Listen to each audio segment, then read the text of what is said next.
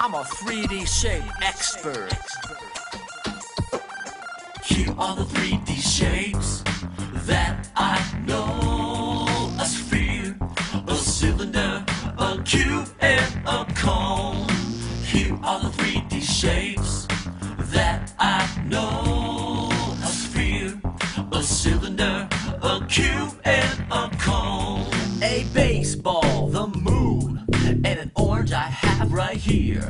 are all examples of a 3D shape that people call a sphere. A basketball, the earth, and marbles I have here are all examples of a 3D shape that people call a sphere. Here are the 3D shapes that I know.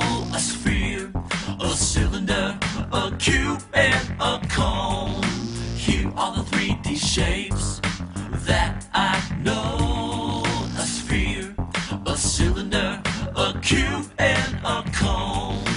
Soda can, a pencil shaft, and a can of soup would be examples of a cylinder, as you can plainly see.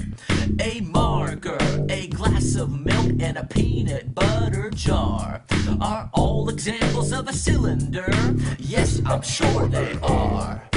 Here are the 3D shapes that I know.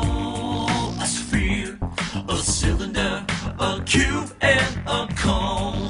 Here are the 3D shapes that I know.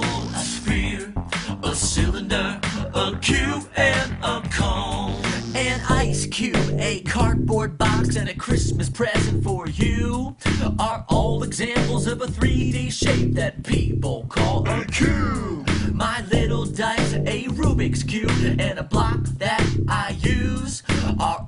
examples of a 3D shape that people call a cube. Here are the 3D shapes that I know. A sphere, a cylinder, a cube, and a cone. Here are the 3D shapes that I know. A sphere, a cylinder, a cube, and a cone. An ice cream cone, pencil tip, and a megaphone are all examples of a 3D shape that people call a cone.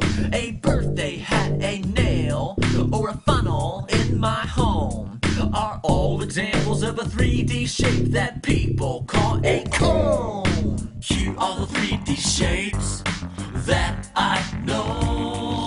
A sphere, a cylinder, a cube, and a cone.